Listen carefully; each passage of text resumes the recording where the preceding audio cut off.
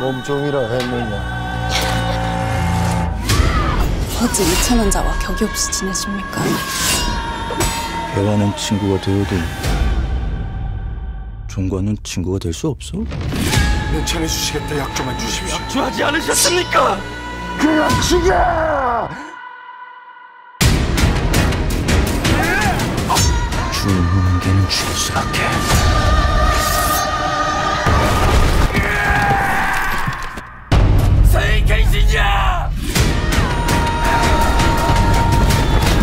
천년 내 눈에 백을 구하라.